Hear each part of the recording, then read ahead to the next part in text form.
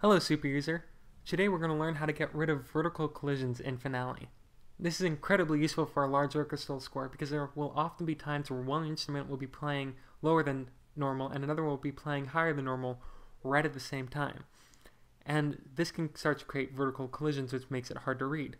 Now normally you can just go into um, the staff tool and just start moving the staves up and down. But if you have a large score, that can take a lot of time and we don't want to do that. We want to work smart and let the computer do the work for us because that's what super users do.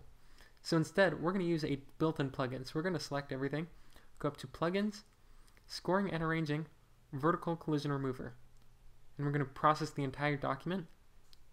And here for remove vertical collisions, this will tell us how much space we want in between staves. Uh, this Looser means there'll be more white space. Tighter mean it'll be like right next to each other.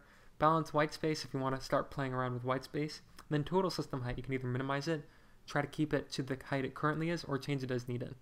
I'm going to keep it changed as needed. And now we're going to hit OK. And you'll see this collision right here is now been fixed. And so we don't have anything overlapping each other.